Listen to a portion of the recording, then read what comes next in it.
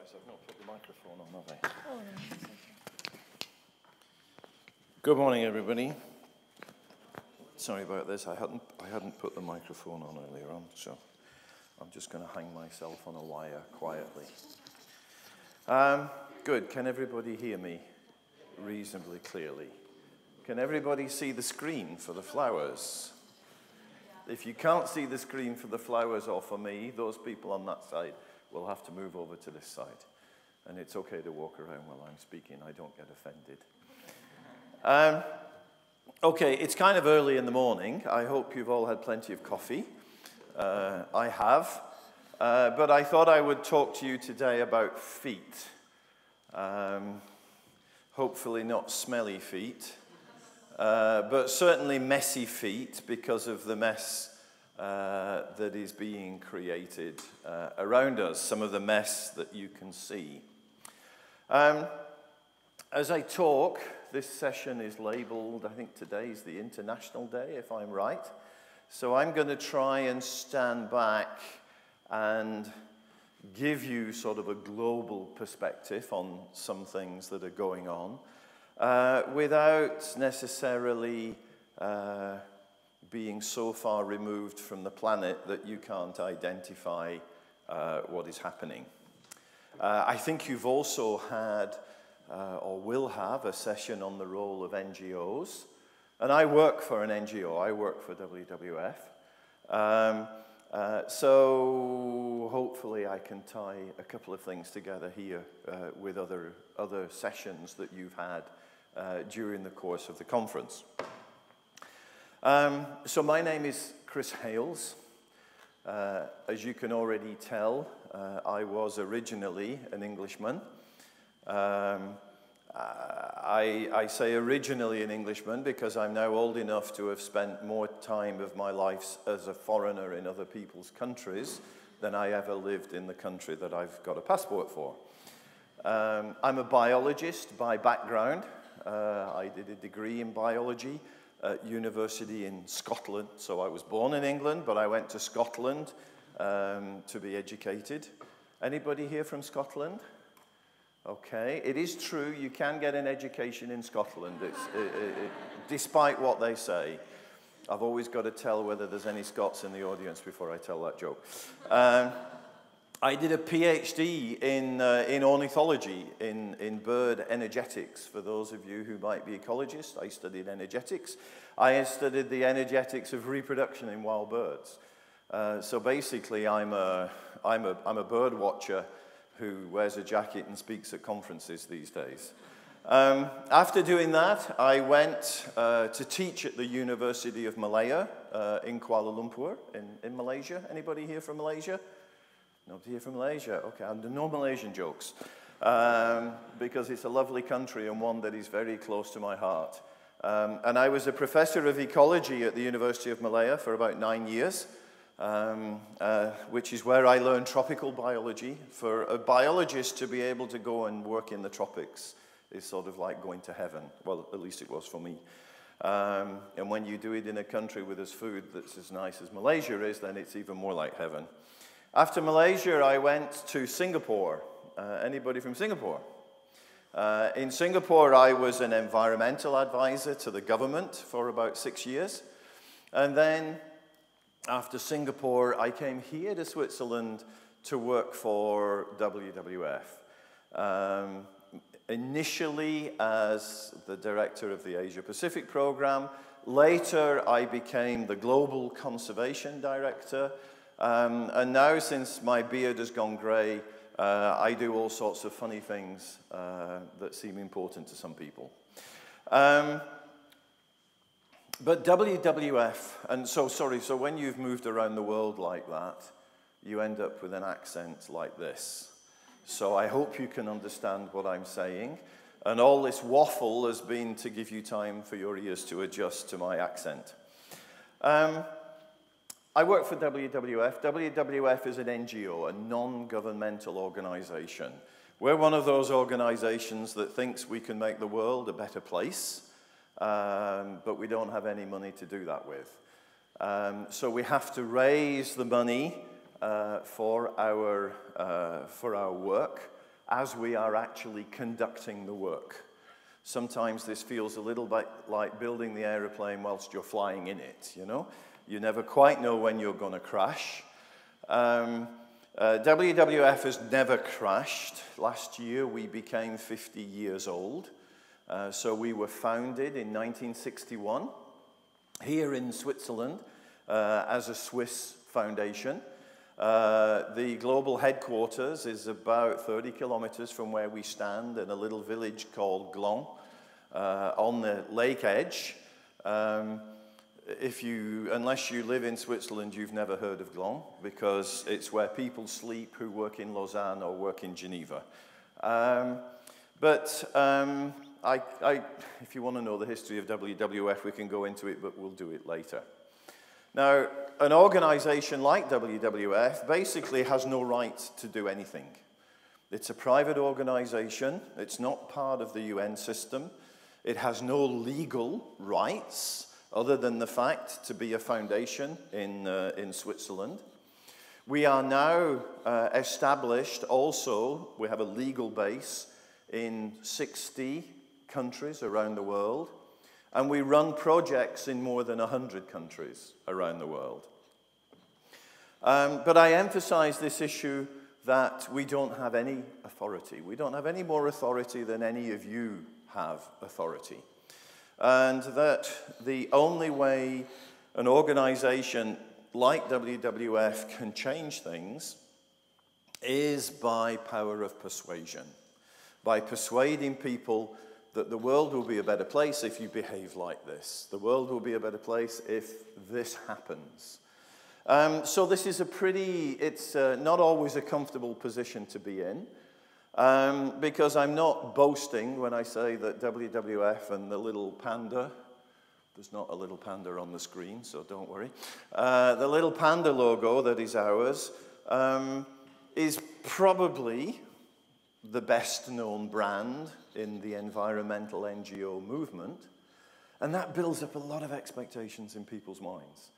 And, and that, those expectations I find scary because, you know, living up to those expectations and delivering what people expect um, can be really tough, uh, especially when, um, when you have no authority to do anything. Um, we are one of the best known brands in, in, in conservation um, because by comparison to other NGOs, we are a big organization. We run projects in more than 100 countries. We have um, about 5,500 employees around the world. Um, now, 5,500 sounds a lot, sounds like a multinational. Um, this time last year, I gave a presentation in Singapore uh, to one of our corporate partners, DHL. You know DHL, the delivery company, the, the people who ship little brown boxes around the world. Um, and I said, we employ five and a half thousand people around the world. And somebody said, my goodness, we employ more for DHL in Singapore than you do around the world. And that kind of puts what we're doing into perspective. Um, because we're well known, people think we are big and we're rich our annual conservation spend is 500 million US dollars per year. That's a lot of money. Holy cramoly, you're saying you are rich. Coca Cola spends $2.5 billion per year in marketing in North America alone. Okay? Coca Cola, the world's largest commercial consumer of sugar, and sugar is what we call a thirsty crop, an environmentally damaging crop. Coca Cola, where every liter of Coca Cola, if you drink a bottle of Coca Cola, you sure as hell better be thirsty because you're drinking 40 liters of water. That's what it takes to produce one bottle of Coca Cola. So, a company like Coca Cola, with this one specialized product, is spending in one country five times our annual, our, um, our, our annual budget. So, we've got to think of things in comparative terms. We've got to think of things, we've got to think about, well, what is the footprint of Coca Cola on the planet? What is the impact of Coca Cola on the planet? That they're spending this $2.5 billion advertising in order to feed our children lots of sugar. Um, uh, and, and those are the issues that, that, that we try to tackle in WWF. Uh, and those are some of the things that I want to take you into today. Um, so I've, I've already given part of the game away when I've said footprint. I think yesterday you had a lecture on the footprint of, of uh, research or something like that, right? I, I, I wasn't able to listen to that one because I was in Berlin, uh, but I, it may be the same sort of footprint that I'm talking about now. When we think of something like a Coca-Cola company, and the weight that they put on the planet, that's their footprint. That's what we call footprint. And I'll explain to you, um, I'll explain to you uh, a little bit about how we calculate that uh, during this presentation. So what I'm going to do, um, uh, I've almost finished waffling now. Uh, for about 40 minutes, I'm going to take you through uh, a presentation that tells you what is going on in the planet that determines the type of things that WWF uh, deals with. Um, the early part of it's going to be pretty depressing um, because the world's going down the tubes, we know that. Um, but I'm also going to tell you some of the solutions that we have devised that we are trying to, that we are trying to implement. So hopefully towards the end I'll give you a little bit of hope um, and you don't go out in the coffee break and, and jump in the lake or something like that. Um, are we okay? Can everybody hear? Can everybody understand? If I use a piece of jargon or, or you don't understand where I'm going, interrupt me. I don't, I don't mind. Uh, and at the end, we can have questions and answers. Is that right, Julie? We can have a discussion. Yeah, okay. Um, what I'm going to tell you today is based upon a publication that we put out in WWF every two years, which is called the Living Planet Report. At the end, on the final slide, I'll give you a hot link where you can download a free version of it. The Living Planet Report we produce uh, every two years, as I say, uh, because we, it takes us two years to do the calculations, and some of the trends that we talk about don't change every year. Um, but we, we first invented this in the late 90s, and we wanted it to be sort of our Dow Jones, uh, FTSE, CAC 40, whatever is your Nikkei favorite index of the economy. We wanted to see if we could come up with an index of the environment. And that index of the environment we call the Living Planet Index. The Living Planet Index, like all the economic indicators in the world today, is going down and has declined 28% since 1970. Uh, now, in order to understand why that index, the environmental index, has gone down, we also work with something we call the ecological footprint, which is going in the opposite direction. The ecological footprint is going up. This is one case where something going up is not good news, it's bad news. Um, we also find in the Living Planet report that it is the poorest countries of the world that are bearing the brunt of these trends declining nature, increasing human impact. And I'll show you that. And the solutions lie in all of us making better choices.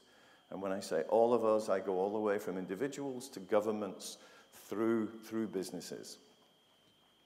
Um, so let's talk about footprint first. Let's talk about the ecological footprint. As I said, the ecological footprint is all to do with the weight that human activity puts on the planet. Um, if, you're, uh, if you imagine yourself walking along the seashore as the tide is going out when the sand is wet, um, if you're a substantive sort of a guy like me, you leave a big footprint in the, in the sand. Uh, if you're a sliver of a girl like Julie, uh, you don't leave, you leave much less of a footprint uh, uh than I would do. Um, but nonetheless, it's, it's weight on the planet.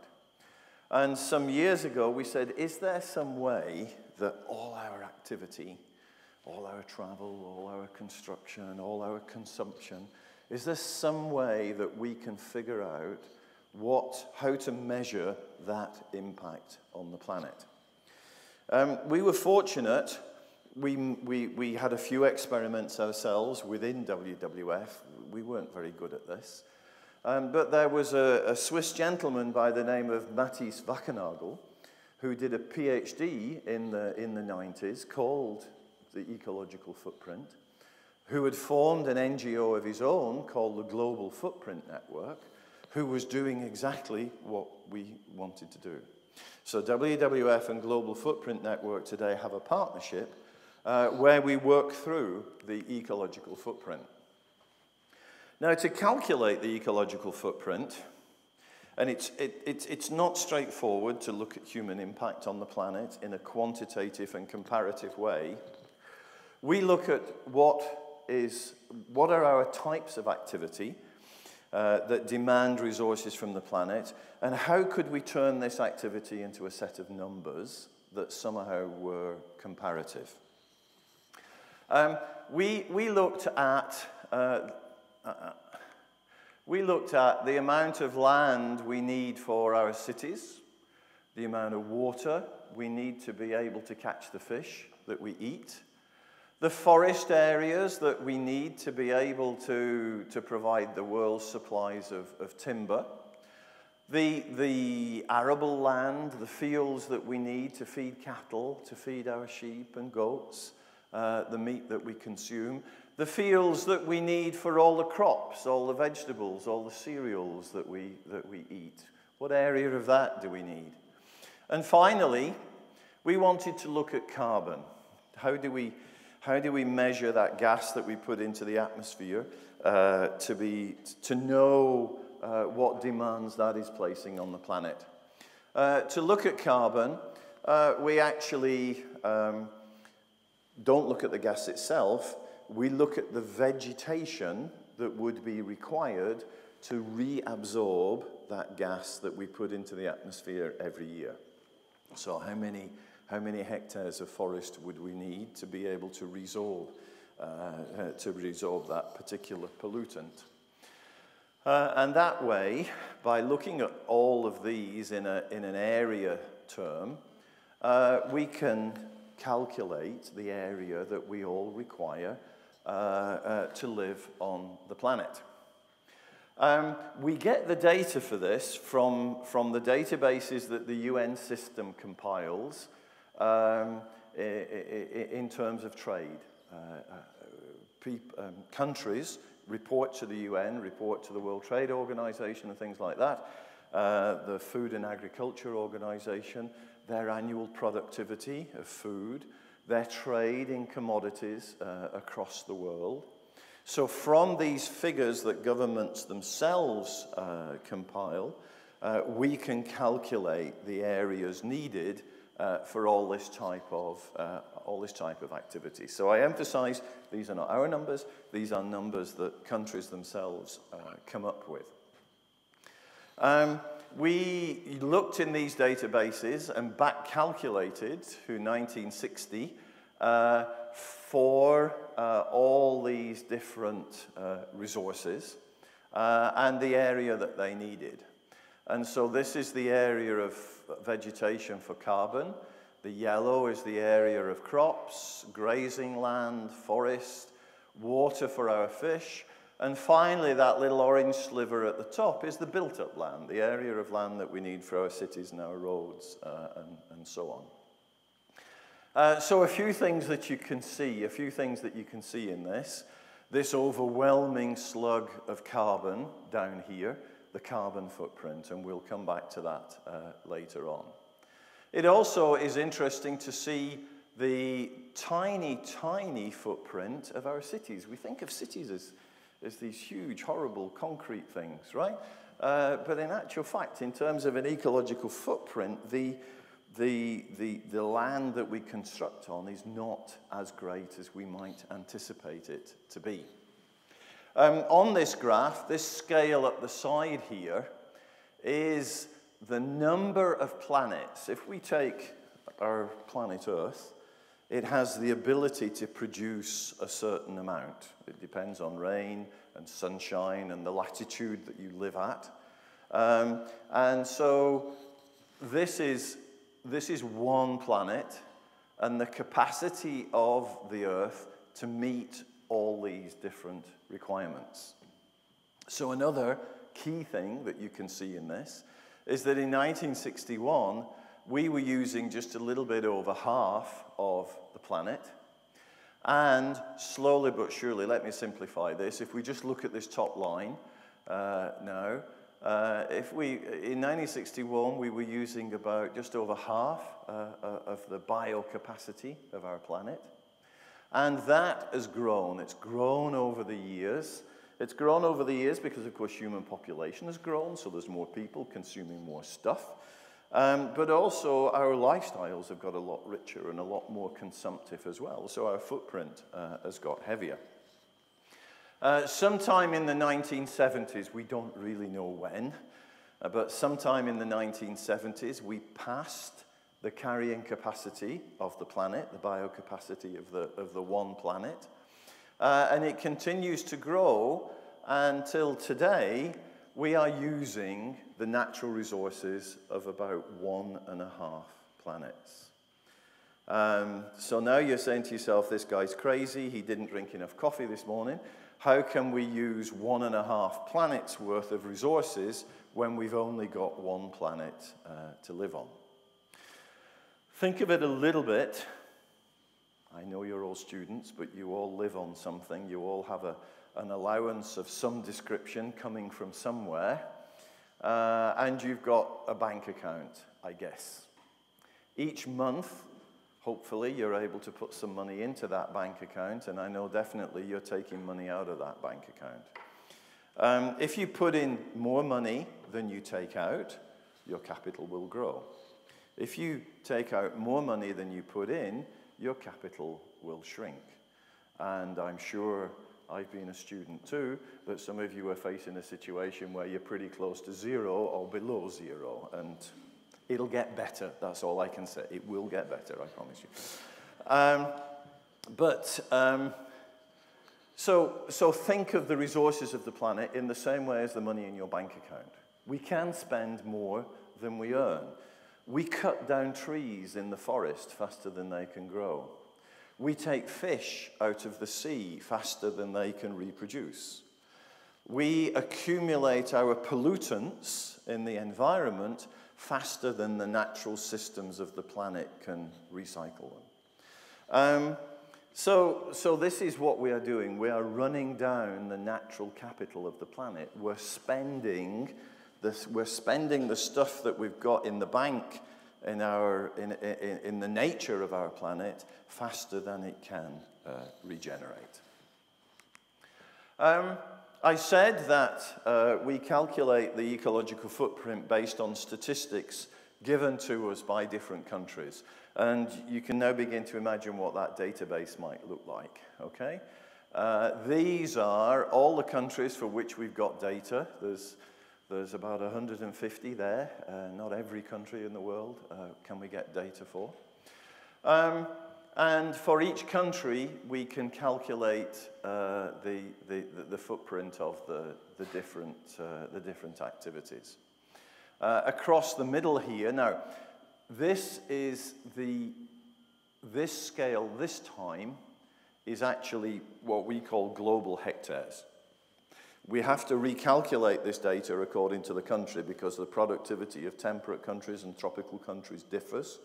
So we use different figures in the database to calculate how many hectares is required. If we average across the planet the capacity, the biocapacity, and divide it by the human population, it turns out that we all get about 2.2 hectares of the planet that, that we have to live on. So you get 2.2 hectares, you get 2.2 hectares, I get 2.2 hectares, right? And I'm supposed to, if I'm sustainable, live within that 2.2 hectares. And that's 2.2 hectares there. Each of these bars is all the countries of the world and how many hectares per person those countries are actually using. You can't read the countries on this slide. You're going to have to download the Living Planet report to, to have a look in detail. But you can see the big ones at this end are using, what, somewhere between five, four and five times their allowance. And uh, in here, uh, we've got some of the Middle Eastern countries like uh, the UAE, uh, I think Kuwait is in there. We've got the United States. Uh, we've got many European countries at this end of the, at this end of the scale. Uh, at this end of the scale, down here, we have the poorest countries of the world. We have those countries which are closest to their resources, and I'm going to go into some of the trends uh, for that uh, in a little while. So, this is how we can put all this together, and this is how we can tease out just what is happening. Um, just to show you the direction that we're heading in, this was, the, this was back calculating to 1961, the ecological footprint uh, of all the countries of the world. Um, and the, the deeper the red color, the, the, the bigger, the heavier the footprint.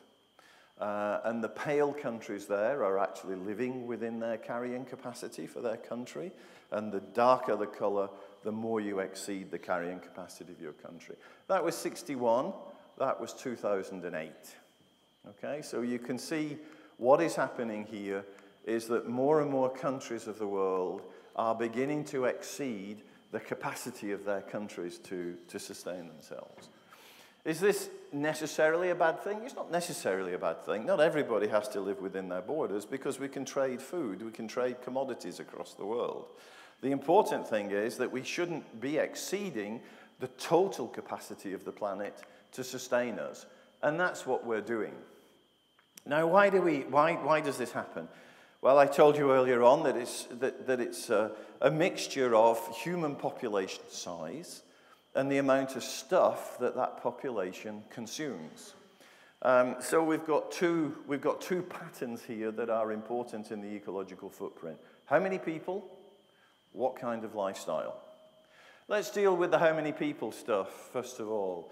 This is a curve of the, of the uh, growth of human population since 1950, uh, when we were around about 3 billion people, uh, to today, uh, where we're 7 billion people, and the projections are that we're going to level off uh, sometime in the middle of this century around about 9 or 10 billion. Um, but that growth is not the same across all the world. and that is important. The pink curve here is the population growth in Africa. The yellow is Asia, Europe, Latin America, North America, and there's a little green line there you can hardly see that is the oceanic uh, countries of the world. So you can see, as we know, that in North America and Europe um, uh, and, and Latin America, interestingly, we could always go back and discuss that, um, population growth is rather, is rather small. In Asia, population growth is huge, uh, and in Africa, is catching up to the Asia proportions, but is still going to continue to grow uh, well beyond into the, next, into the next century. As the population grows, uh, this is where the danger point comes. Um, this is a funny map of the world that we've drawn using circles to, uh, to describe urbanization. How many people living in cities? I said earlier on that those cities, the area we need for our cities, is actually relatively small compared to everything else. But it's what goes on in those cities that is important. Because it's in cities where people are living that high consumptive lifestyles take place. It's cities that need water supplies, that need energy supplies, that need food supplies, that draw on their hinterland uh, and the hinterland has to be able to produce those resources. So the more people you're living, who are living in cities, the greater your challenges are of reaching a sustainable lifestyle because we run into issues of transport and uh, all those types of things. Um, the trend, the trend around the world is not equal. Um, we find that in, in, in the developed world, uh, we tend to have a higher proportion of people living in cities than in developing countries. This is because there is just that much less rural behavior. Agriculture has become industrialized with large machineries. We farm prairies. We don't sm farm small holdings anymore. Um, and so fewer people live in the country, fewer people live in, in rural areas, more people live in cities. Uh, so in the US, for example, we've got 81%. In Germany, 75. In France, 77. In the UK, I can't really see that number. Is it 80% there in the UK? Um, whereas in developing countries, the proportion, all these, all these pictures are all in the Living Planet report, so you can, uh, when you download it, you can see them yourself. Um, uh, in, in developing countries, the smaller uh, uh proportion, even in China. Now, China has got the largest urban population of any country in the world, 559 million. But all, that's only 42% of people in China uh, who are living in cities. Um, the US has got 81%, but because there's fewer people in the US, it's only 246 million people, billion people, sorry. Um, India, uh, there's 329 million people living in cities, but again, that is less than 30% of the population of India. Now, as, as these countries grow, as these countries get more industrialized, as these countries get wealthier, what we're seeing is a migration of people from rural areas into those cities. So cities are going to increase in size tremendously uh, during the rest of this century. And as those cities grow, they're going to be putting more, uh, more pressure, a greater ecological footprint on the planet. Uh, this, is just a, this is just a diagram that shows the average household footprint uh, of different countries of the world. This is the United States uh, uh at the top here. Uh, and the average household in Russia, Brazil, South Africa, China, Indonesia, India. And what we're going to see, these are, of course, mostly the BRICS countries here, what we call the BRICS, the Brazil, Russia, India, China, um, which are the most rapidly growing economies in the world. As these economies grow, people get wealthier. As people get wealthier, their consumption goes up. I mean, typically what we see is as people's income grows, the first thing they do is feed their families better. Higher quality food, more protein in the diet. House their families better. People buy cars, people buy televisions, people people get more and more white goods, which are all then demanding energy. So the footprint with wealth goes up. Now, I'm not saying people do not have a right to get wealthier. People do not, people do have a right. People do have a right to improve their quality of life uh, for their families and for future generations. The challenge is how can we do that? How can we help people improve their livelihoods without wrecking the planet that we depend upon? So let me, let me go into now what is happening on the planet. Keep in mind that stuff on the ecological footprint. I now want to take you to what we call the Living Planet Index, which is our Dow Jones of the, uh, of the environment. We calculate the Living Planet index, well, no, let me tell you the trend first. Um, like all indices, we also take this back to a, a number one. Uh, and this is just a mathematical, hypothetical one, okay? Um, in 1970. Until 2008, which is the latest year that we have a data set for, we find a gradual progression of decline of about 30%. So this is the natural capital of our planet that has declined by about a third uh, over the last uh, uh, 40 years. Uh, for those of you who are statisticians, The, the blue lines, the wider blue lines there are the standard deviation. So you can see that this is a significant trend in this data. We gather this data by looking at species, wild species that scientists have studied, and where they've published their surveys of those species, those populations, in peer-reviewed data. So this data in peer-reviewed journals. So this data, all the data in here is not gathered by WWF, it's gathered by scientists all over the world who have carried out a count of a wild species population and have done it well enough to have it published in a scientific journal. Um, we, we look for data that tells us trends. So we need at least three data points to know whether something is, is going up or going down. Most of our data is drawn from vertebrates, those organisms with a spine, those organisms with a, with a backbone.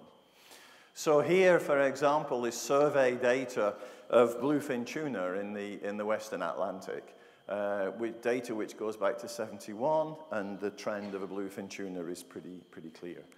Uh, this is the trend of, Euro of European otters. Uh, we only have data going back to 1984 uh, for these otters, but the, the trend is going up as conservation has taken a grip within Europe. People have got interested in the conservation of otters, uh, and so um, th their numbers have gone up. This is a wandering albatross in the Southern Ocean, and some years they seem to go up, some years they seem to go down. Uh, but generally the trend is, is downwards. Um, this is, these are freshwater dolphins uh, from around the world. There are dolphins that live in rivers. These are often blind and they use a sonar system to navigate, so they're interesting creatures. Um, and we can see that, uh, well, the, the baiji in China uh, now we believe is extinct. We don't think there are any, any left, and that is something that's gone extinct quite quickly since I began working for WWF, actually. Uh, this is the Irrawaddy dolphin from Southeast Asia, the Ganges dolphin from the Ganges River, the Amazon dolphins, which seem to be doing better than some of these others, and the Indus dolphin, which has actually increased over recent years. Now, within the Living Planet uh, Index, we have about 25,000 data sets like this, drawn from 9,000 different species. So we've got a big mass of data, which gives us the trend of a reduction of 30% uh, that I told you about. It also gives us enough data that we can start to say, well, are, these, are things, different things going on in different parts of the world?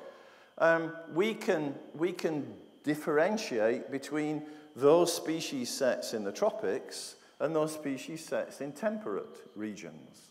And if we calculate separate indices for those in different parts of the world, we can see that in temperate regions of the world, the Living Planet Index has actually gone up by 31%. Whereas in the tropics, the Living Planet Index has gone down by twice as much as the global average. It's gone down by 61%. What does this mean? Uh, does it mean that everything is fine in, in temperate regions? No, it doesn't. Because it's, it, this is a bit of an artifact of the fact that we go back to 1970. Because most of the temperate regions covers most of the industrialized countries of the world. And the industrialized countries of the world started industrializing somewhere between 150 and 200 years ago. So it was way back before anybody was counting anything that the destruction of natural environments was, was taking place. Um, and so if we could calculate this back 200 years, we'd probably find the temperate curve should be up here somewhere, actually. Um, and what I think is happening here is that the declines have already taken place. The destruction has already happened. Um, I mean, just to give you an idea of the scale here, right? I, I come from Britain. Uh, there is almost no natural forest left at all in Britain. I went to university in Scotland, which is famous for the, for the moorlands on the mountains, these beautiful, heather landscapes. That's not natural. That's not natural. Those mountains had forests on them 300 years ago. Those forests were all cut down by the English to build ships to go off and colonize the rest of the world. And the forests that weren't cut down uh, were deliberately destroyed in the genocide that the English carried out against the Scots to suppress these tribes from the north, right? But those bare mountains that we value so much these days, they should really be forests, but people have forgotten about that. Um, so this is what I say, that this curve should actually be going up here. What we are seeing here, I'm sure, uh, is the fact that conservation has been developing um, in industrialized countries and is a, a, sociological phenomenon, if you like. Um, and so there has been a recovery uh, within places like Europe and North America in some species. But it is the tropical part of the world where the pressure is greatest. The tropical part of the world, uh, which is now at the stage that the industrial countries were at over here, where the greatest amount of destruction is taking place. Um, now, that destruction, um, I've talked about species and I've talked about conservation, but it can have much more fundamental and profound effects on people's lifestyles than simply whether otters are declining or rising, whether dolphins are declining or rising. Um, if, you, if we look at, um, if we look at high income, middle income, and low income countries, uh, for the Living Planet Index, this is the state of nature. As I've said, high income countries, uh, pretty, pretty flat, pretty, pretty stable uh, in the state of nature. Middle income countries declining, but it's the poorest countries of the world that are declining the fastest. And remember, I said that it is the, in the poorest countries of the world where people are still living closest to their resources, where people are still dependent upon nature uh, for their daily livelihoods and their security of their families. And yet, this is where we are losing nature the fastest. Not necessarily because of those people, although people activities and population growth are aggravating it, but also because of some of the uh, other things going on that I'll take you to in a moment. But couple that decline of nature with also what the ecological footprint is telling us. So let's go back to the ecological footprint for a little while. And let's look at the ecological footprint in those three same categories of countries, of high income, middle income, and low income countries. High income countries well, first of all, we can see the high income countries have got an ecological footprint way beyond anybody else, right? Because this is where the consumption is taking place. High income countries went through a very rapid growth uh, up to about 1970. Around about 1970 was when the first oil crisis hit the world and when people began to think about resource constraints. And since the 1970s, high income countries have been fairly flat, but still very high middle income countries poodled along and are now seeing a rise in recent years. But my concern is with the poor income countries, the low income countries. You can't really see it on this scale, but their, eco their ecological footprint has declined by about 3% over the time frame that we're looking at here. Is that a good thing that ecological footprint is going down in the low income countries. No, it's not. Because if you look, nature is declining in those countries. People's abilities to consume are going down in those countries. So when you hear uh, on telly or read in the newspaper about the rich getting richer and the poor getting poorer, here is the evidence using ecological data from an environmental organization that underpins that. And those trends lead us into all sorts of, all sorts of problems. And problems that manifest themselves all over the place. Does it matter? Yes, it does matter, and I want to talk to you a little bit about why it matters and about what we can do about it. Uh, this is a beautiful picture. Uh, uh, taken from a, a, satellite. It's a picture of the Aral Sea uh, in Central Asia. Um, the Aral Sea, like the Caspian Sea, you've probably seen pictures of the Caspian Sea uh, uh, with, uh, that is drying out. The Aral Sea is also drying out. It is drying out because the countries of Central Asia are redirecting the rivers that flow into the Aral Sea and using the water for agricultural irrigation. A lot of that agricultural irrigation is for cotton, which is a crop that requires a lot of water and which gives us our shirts, right? Um, the Aral Sea was shrinking at such a rate that people have actually built a dam across the middle of it to try and preserve some of the water in the northern part and have given up on the southern part. I mean, this is, this is environmental engineering on a huge scale. And so what we're seeing here is, is the drying out of an inland sea. And these white areas are huge, huge salt, salt flats that are developing as the water evaporates. And these are enormous. There's something like 40,000 square kilometers of, of salt flats there.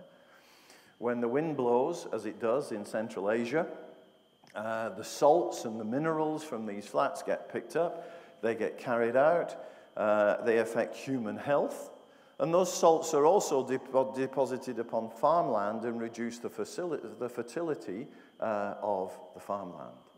So we've got ecological experiments on here. We're redirecting the water. We're trying to grow more stuff. We're destroying the lake. The lake is producing salts which grow back on the farmland, which then uh, require more irrigation to try and make it more fertile again. And, and this is a downward, a downward spiral. Um, but I want to take you, since this is an international setting, I want to take you to uh, a part of the world that not all of you will be that familiar with, and that is Southeast Asia, where I spent the first part of my career, uh, and which is still very close to my heart. And I just want to take you through some of the things that are going on in this region, this region of very rapidly expanding uh, economies. Uh, this is a slide of some of the programs that my organization has running uh, in, this, in this region. This region is uh, an area of high human population density, high growth rate, high economic uh, development as well. Uh, this, takes its, this takes its toll. This is a, a map of forest cover uh, in the region in 2000 uh, and the projection of forest cover uh, in 2050. Um, these changes can be quite dramatic. If this is going to work. This is, this is the island of Borneo and the rate of forest loss over the years uh, in, in Borneo. Uh, Borneo is a, a, country that is divided between Malaysia, this is Sarawak, this is Sabah. This southern part of the island belongs to Indonesia, uh, and little Brunei is these two, these two blobs here. We have a program that we call the Heart of Borneo. The Heart of Borneo is this green area that we think will be all that's left of the forests by 2020. Let's go through those slides again. So this is how it was. This is forest cover in 1900, 1950, 1985, 2000, 2010, and the projection to 2020. And you can see how the forests are being eaten away. The consequence of this removal of forests has quite profound effects on a lot of things. It not only affects the people the indigenous people who depend upon those forests, the hunter gatherers who live there. It affects the quality of water that runs off those hills and the people who depend upon that water uh, further downstream. As forests erode, it, depends, it, it, it influences uh, soil fertility. Um, but as we now know in recent years, as those forests are removed, as they rot and as they burn, it also contributes to climate change because those forests are made out of carbon. And when a forest burns, that carbon is released into the atmosphere. And we now know that about 17% of the problem of climate change is caused by forest uh, destruction. Um, We asked ourselves a few years ago is it possible to take timber out of forests like those of Borneo? Because uh, though a lot of trees there grow very slowly, the timber, when it grows slowly, when a tree grows slowly, it gives very, very hard timber. And that timber is beautiful looking timber that we like to put on our desks and our furniture and the panels on our walls and ceilings and build our buildings out of because it's very tough. Um, but if we take the trees out of the forest faster than they can grow, then we're destroying the forest. A few years ago, we said, well, could we actually take timber out of a forest, calculate, calculate how fast that forest is growing, and harvest timber sustainably? In other words, can we take money out of the bank at the same rate that nature is replacing it? And we found that you could. The, the, calculations are complex. They differ according to which country of the world you are dealing with and the type of trees that you're dealing with. But we put together something that we call the Forest Stewardship Council, FSC, Forest Stewardship Council. It has a little logo, which is this tree uh, with a little tick on it. And when you see that logo on a piece of wood, it is a guarantee that that piece of wood has come from a forest that is sustainably managed. So, what we've been looking at is can we certify wood, timber, in this way, uh, and keep that certification attached to that piece of wood all the way along the supply chain because each of these pieces of wood, you know, it gets cut down, it gets cut into planks, it gets put on a ship, it gets exported to Europe. In Europe, an importer buys it, they cut it into smaller pieces, they turn it into door frames, they turn it into window frames, and it appears in somebody's house. We want to make that entire supply chain sustainable. And so, what we have done is put together the Forest Stewardship Council, which is a certification system, um, which is now independent of WWF. And we want people to buy that timber in favor of timber which is not certified. So, if we can give a market edge to certified timber, we can let capitalism save the forests in the heart of Borneo. And so now we have a system where forests all over the world are certified in this way. Uh, and here in Switzerland, you can go to IKEA just down the road. No, I think it's down the road that way. Uh, and buy uh, a piece of furniture with an FSC logo on it. We can go in Switzerland to the Migros supermarket and buy charcoal for our summer barbecues, which has got the FSC logo on it. Trees are also used to make paper for pulp. So we can go to stationery stores and we can buy paper for our computer printers that has got the FSC logo on it. So slowly but surely, this logo is penetrating many different parts of the, of the market. But those forests are not just being uh, destroyed because of timber. They're also being destroyed because of this stuff, which is palm oil. Uh, now, palm oil is, is a, a, magical substance, and the, the oil palm tree, which is actually an African species, comes out of West Africa, uh, but thrives very, very well in tropical Southeast Asia and is grown in huge plantations. Now, those plantations exist where a tropical forest used to exist.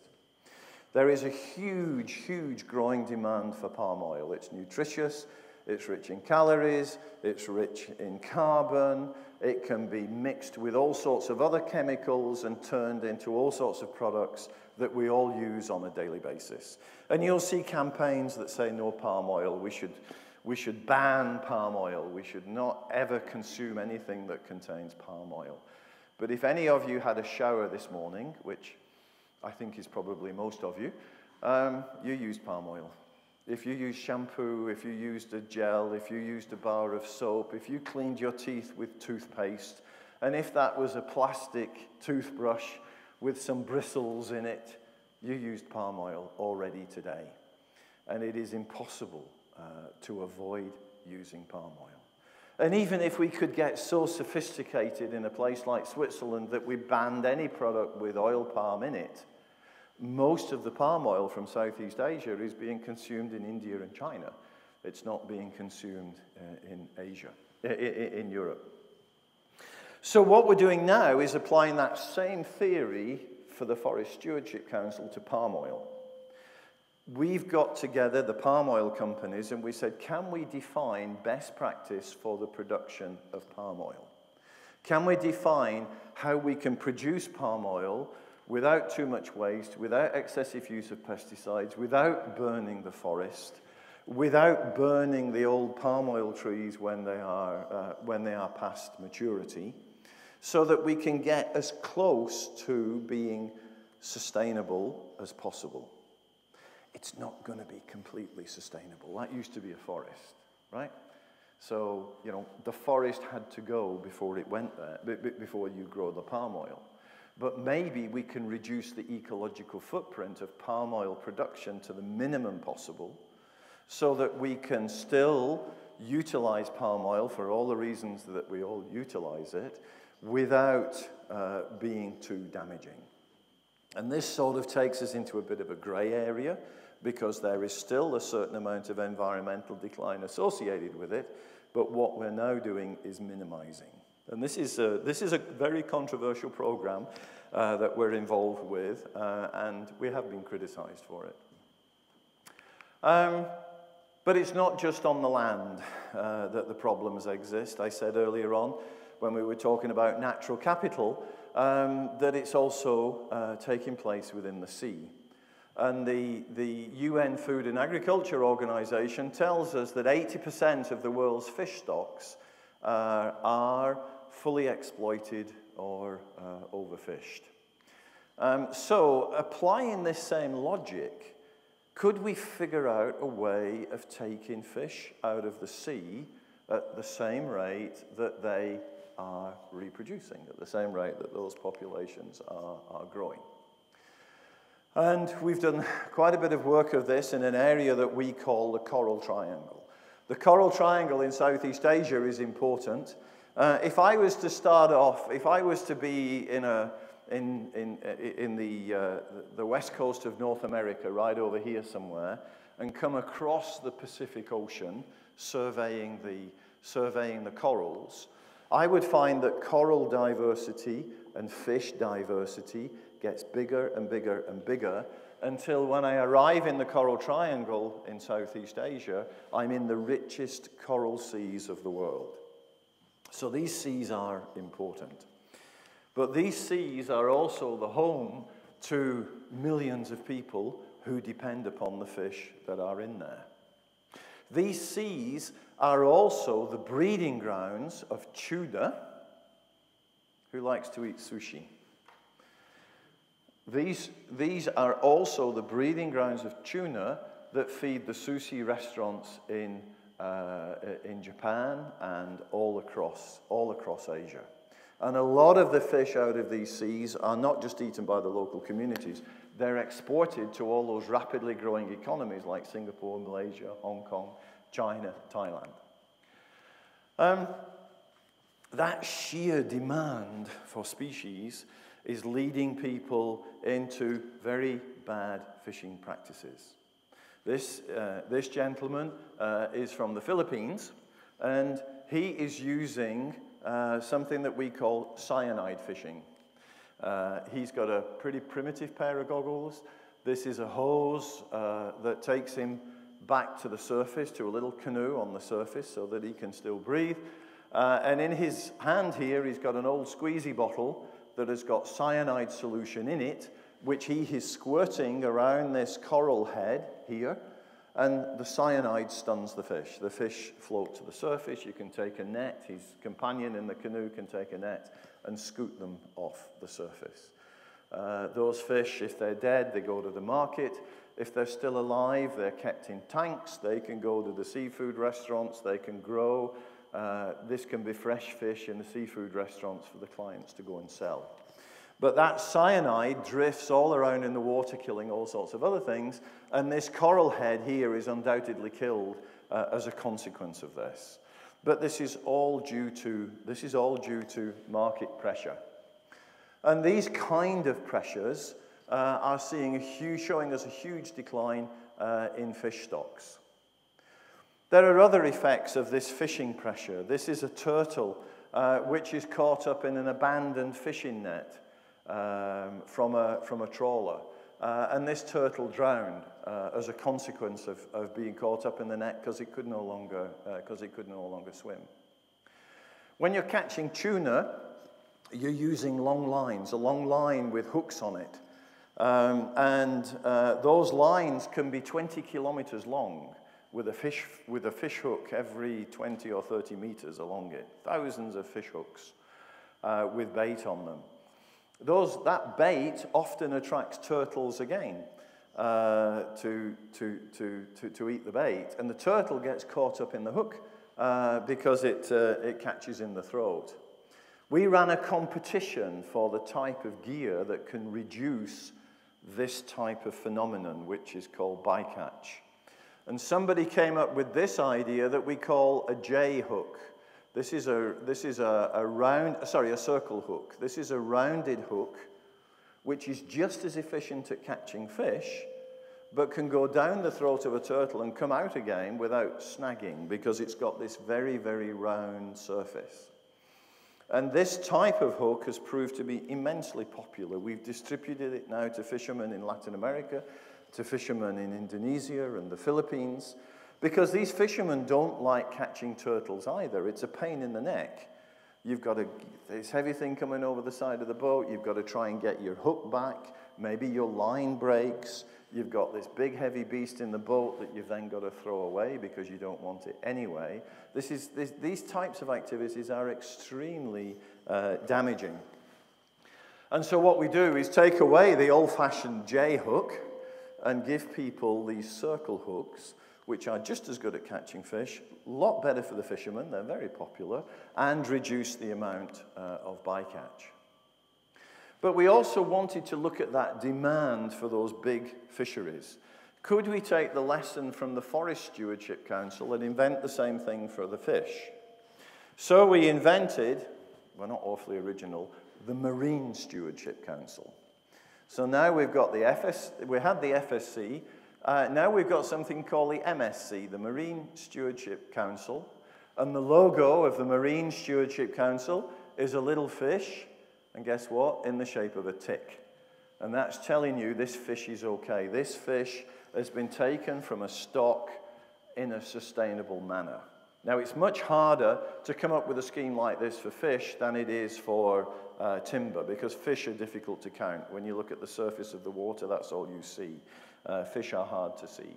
So it needs good ecology, good science, knowledge of those fish stocks, and it also requires a certain amount of policing, inspectors on boats to look at the rate that fish are being taken out, inspectors on the dockside uh, to be able to uh, verify a catch when it is being brought uh, to the port.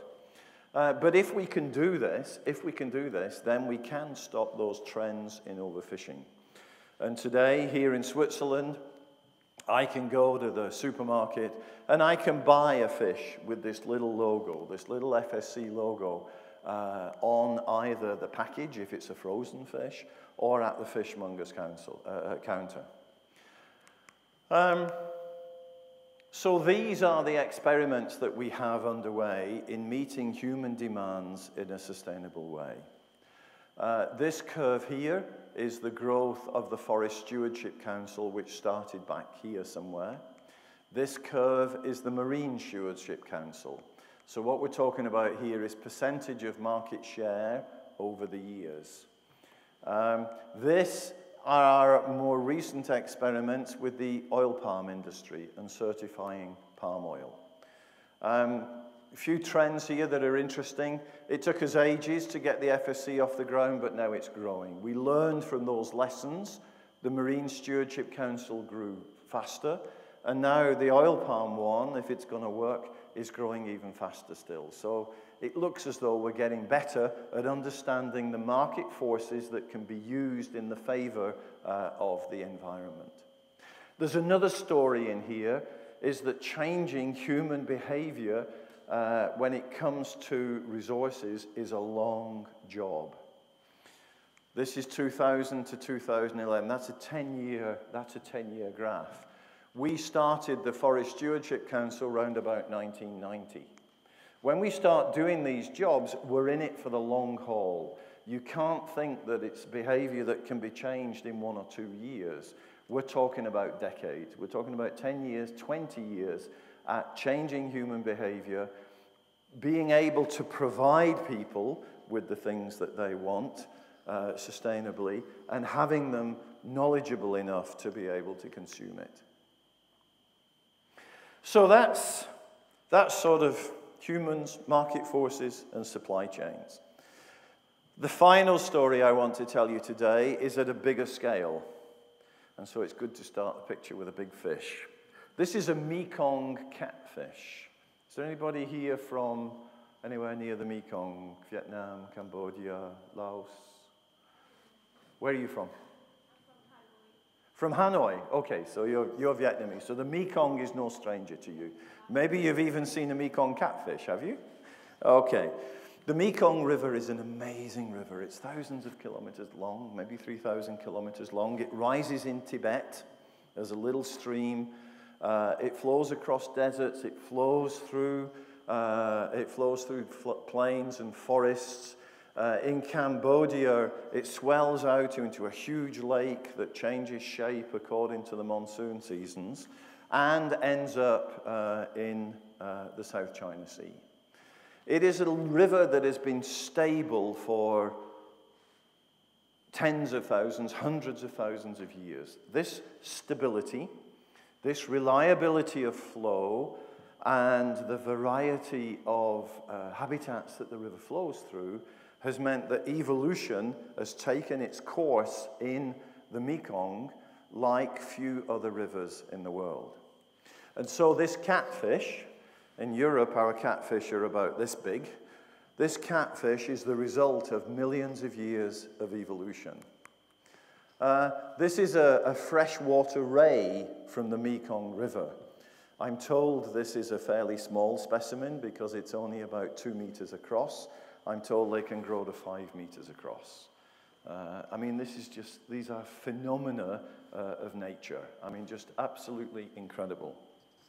But um, those, that same river that has produced those fish is also the world's largest inland fishery, with 60 million people who are dependent upon reliable fish stocks for their protein supplies to be able to take the fish out of that river. Um, that river also provides nutrients to people who live downstream. Uh, and this is, the, this is the Mekong River here. This is the Mekong Delta. Uh, silt is brought down that river, um, where, where, where our delegate sits in Hanoi is much further uh, in the north up there. But you can see here where the delta develops, this brown curve is the silt that is being brought downriver and uh, going out into the sea. Much of that silt is deposited in the delta, and that silt provides the nutrients to the farmers who live there. Uh, many growing rice, and you can just see here a pattern of irrigation canals. So you can, this is from a satellite, right? So you can get an idea of the scale of rice growing there. But also that silt prevents salt water from coming back upstream and destroying the fertility of the land. So that silt is really important to the people down there. It's their fertilizer and it's their protection against the sea. So here we can see the full length of the Mekong from where it rises in Tibet, flows all the way down uh, here to the delta that I just showed you there. Each of these dams, sorry, each of these yellow spots is a dam, a dam that is being constructed across the river. And those dams are being constructed to provide hydropower, to provide electricity uh, for people in the region. Uh, and you can see here, this is a satellite photo taken at night of the region. You can see where that electricity is burning, okay? So here is, here is the coast of Vietnam with the, the Mekong River coming down through here. One, the first thing you can see is that that area of Laos and Cambodia, uh, I guess this must be Hanoi up there. This is probably Phnom Penh or, or Ho Chi Minh down here, is it? Which, it's Ho Chi Minh, is it down here? Uh, this is Bangkok, this big spidery thing. Uh, this is Singapore, this bright dot. This line here is the line of civilization that connects Bangkok with Kuala Lumpur and, and Singapore along the line of the highways and the, and the railway lines. What else have we got? Look at Taiwan, look at Japan. Wow, at night, amazing.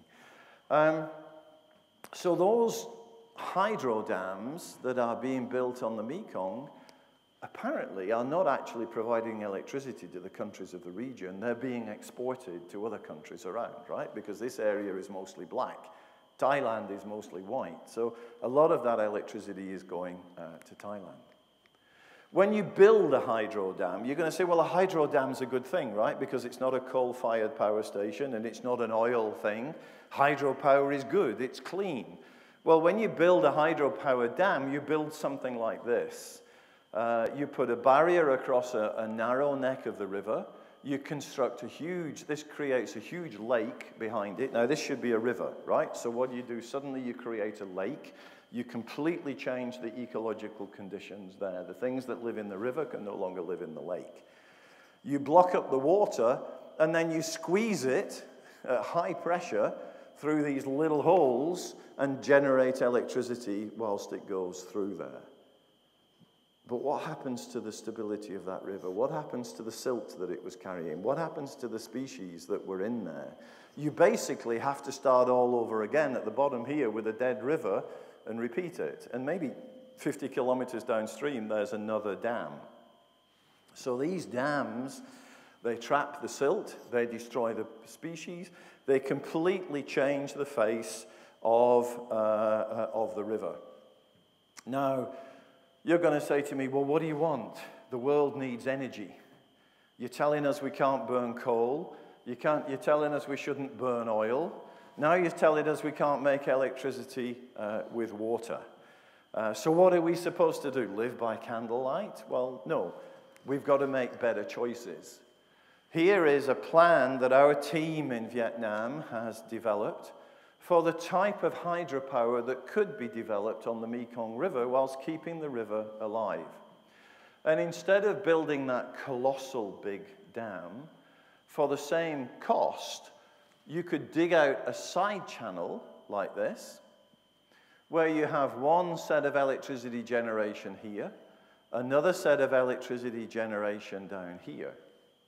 You can still have the wild river, the natural river flowing down the middle, allowing all those species, all those fish stocks that people are dependent upon to be consistent, allowing the silt to continue to flow downstream to those farmers who live uh, in the delta, and you can still generate electricity. And you can build dozens, tens of these uh, these types of channels for the same cost of one of those massive dams, but you are maintaining the ecology of that river intact. So, it's all about better choices. It's all about better choices of how we live our lives. What do we consume? Is there an FSC logo on that new bed that you bought last week? When you go buy your fish, is there an MSC logo on it?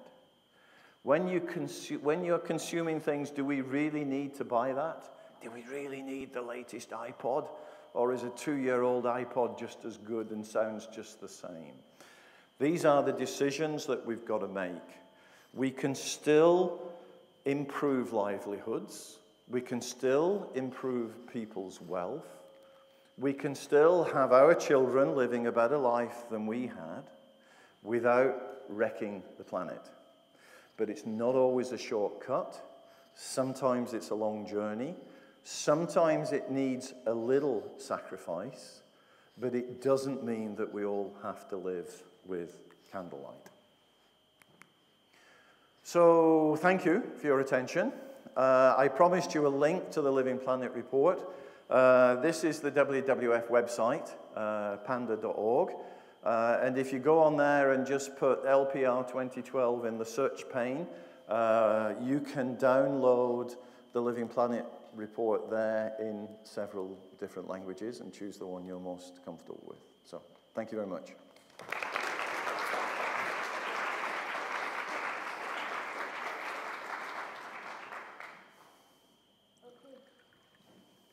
Yeah, okay. So is there any question for Mr. Hails? Please raise your hand. Yeah. Uh, please say your name and the country you're from. Uh, thank you, Professor, for the uh, clear explanation. Dr. Chris. I, I'm going to ask about the last hopes, the last phase of your explanation. I really appreciate for that. Yeah, the, the choices are, sorry, I didn't say my name. My name is Afona Chernet from uh, representing Japan, um, Hokkaido University, the north part of uh, uh, Japan. So my question is on the last phase of their uh, presentation, which you have uh, given us on the three options of uh, the FSC, MSC, and uh, also the last phase on the uh, river. So in this case, how is how do you expect the cost? I mean, the initial cost. Like it might be difficult for, for, most of us, like human beings, we choose the short path we don't see the, uh, the a little bit far from the, the site. So I think, uh, how do you expect the, the initial cost? Because when you propose things like this, I'm, I'm sure you might have uh, uh got some, uh, some kind of objections to when you propose these things for the uh, implementing or government or policymakers. So I think there I expect there will be some kind of objection. So how do you try to convince them, or how, how do they accept these things? I mean, to date, um, this is. I mean, this is a good point. The, the point is, how do you kickstart something? How do you inject the the cost needed to start doing something differently? Um, for the FSC and the MSC, we we put up the money. We went out, we raised the money, and we paid for investigating how to do the certification. Uh, we paid for uh, the early parts of that. The whole point behind these things is that eventually they, they should pay for themselves, and now FSC, MSC are completely independent. Um, we can, and you know, we, we sit down, as I said, power of persuasion, we sit down with the industry. You know, we sit down with the timber companies and we say, look, if you join this scheme, you will be able to sell your timber better than companies that are not certified. Okay? I'm going to move away because the, the microphone is reverberating a little bit with, with that. Um, so we, we, we, we, we're looking at how uh, sustainable behavior can give you a market edge. Uh, and so what we found is that, is that when we first started with FSC, it was really difficult. Nobody believed us, right? And they said, come on, you've got to get the producers, you've got to get the consumers, you've got to get the middlemen, right? That's why it took us 20 years. When we came to the, to the MSC, people saw the FSC working, and so companies were more likely to join in. And in fact, the MSC, the reason the MSC got off the ground was for Unilever. You've probably all heard of Unilever, the company that makes all, again, all these household products that we use. Um, and Unilever in the 90s was the world's largest commercial consumer of fish. They had all sorts of fish products, Findus foods and things like that came out of, uh, came out of Unilever. And Unilever came to WWF and they said, look, our fish business is going to go bankrupt if the fish stocks continue to decline. WWF, you know fish stocks. What can we do together? So a lot of the early part of MSC was actually paid for by Unilever. That's what kickstarted that. Today, when we're working with the, with the um, oil palm industry, uh, there is uh, very little money required from WWF, uh, but we're able to get the oil palm companies to sit together. And what companies want in the world, they don't necessarily want subsidies, they just want a level playing field, right? that if I'm going to make a sacrifice and no longer use arsenic to poison my old trees and burn them, right? If I'm going to start recycling those old trees for biomass and energy production, I want everybody else to do that. It's going to cost me a little bit. It might cost me 3% of my profit, but so long as everybody else is costing 3% of their profit, I'm okay with that. I'll do with 97% of my profit. So we're able to use power of persuasion these days for companies to get involved. So actually, lack of money is not the problem. It's, it's the political will. It's getting companies over that hurdle and getting them confident to, to do what they're doing. It's also getting the consumers, because all of this is only as good as whether people are going to buy the stuff at the end of the day, getting consumers to be able to uh, consume properly. So um, for us, we also work hard with the general public, doing education, making the right choices. Uh, but we also work with retailers. Um, What's that big supermarket chain in the US, the biggest one? Walmart, thank you.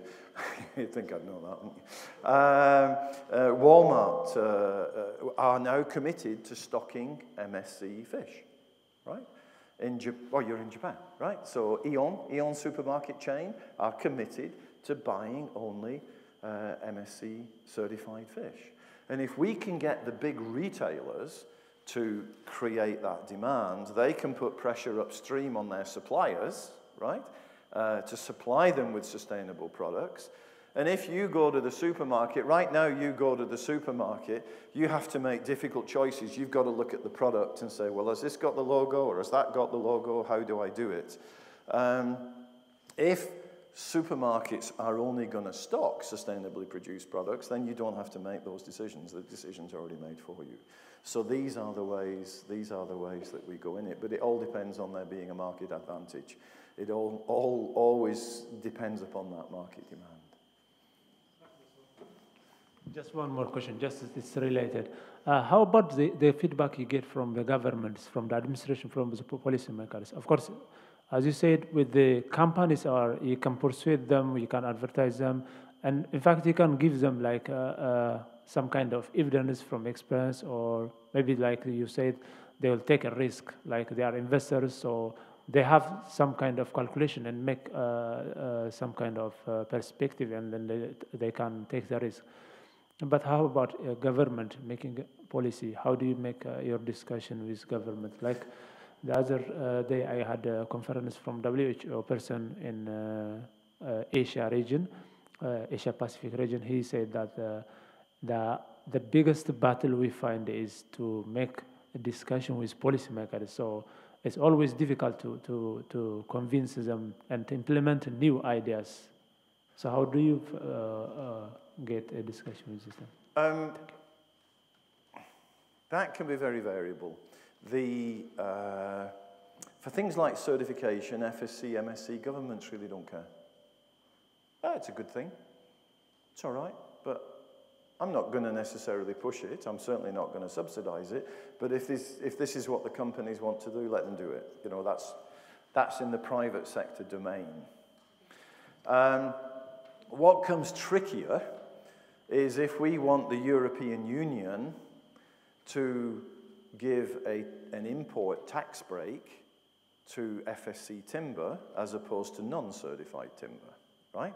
So timber that's coming into the EU from the tropics, uh, the EU should be able to favour, tax-wise and import duty-wise, uh, certified timber. They won't do that. They don't like that kind of discrimination.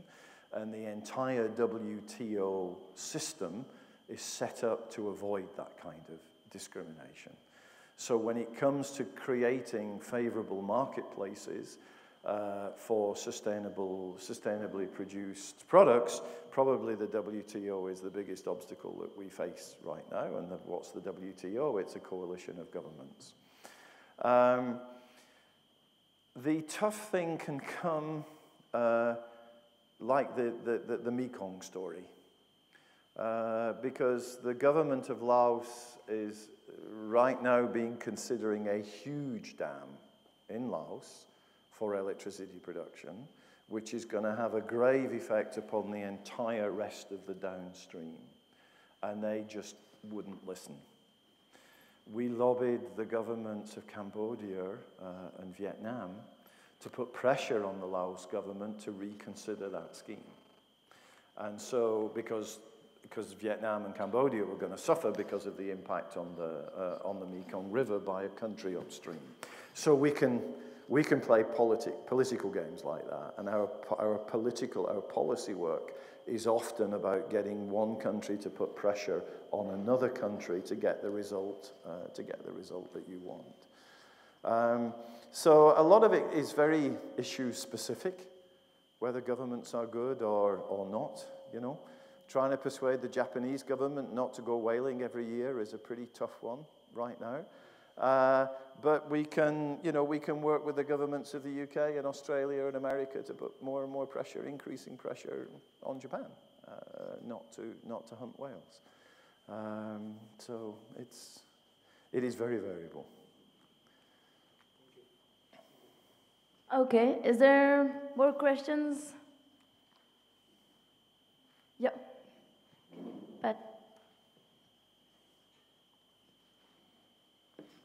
Hi, Torstein from Norway, Oslo, Norway.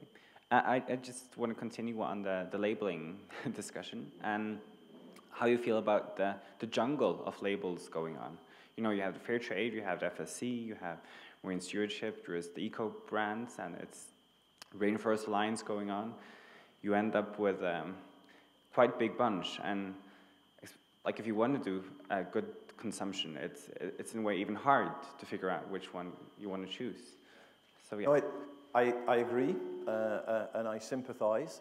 And one of the things that we found, because the FSC and the MSC have, have proved to be reasonably successful, is that you then get imitation brands. And you get imitation brands that you don't know the standards of. Uh, we do what we can to, um, uh, to stay on top of that. We try and inform consumers, you know, which of these labels is, in our opinion, the better one. But you can't really control that. And this is where the work with the retailers takes on even more importance uh, because the retailers are, um, are critical as to what appears in front of the consumer. But since you're from Norway, um, there is uh, uh, particularly popular in Scandinavia a timber certification scheme called the Pan-European Forest Certification System. So it's the PEFC. It almost sounds the same. And when the PEFC first came up, uh, actually promoted by Finnish interests and Finnish for foresters, um, it was way below the standard of the FSC.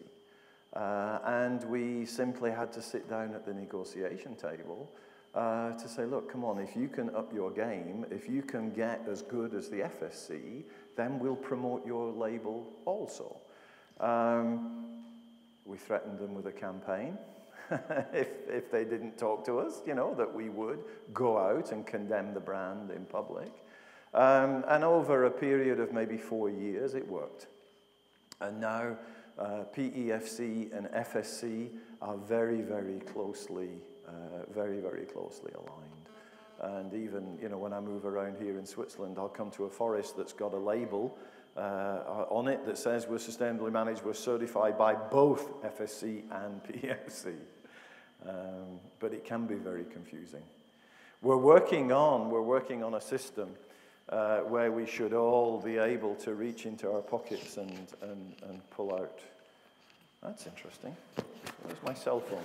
Uh, pull out our smartphones, right, and scan a barcode and have that barcode tell you on your cell phone uh, what is your uh, what is the origin of that uh, of that product.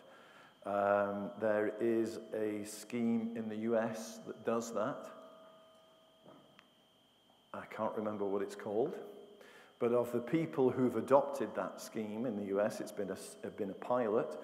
Um, something like uh, people who've signed up for the scheme, something like 60% of the people actually then use it when they're shopping.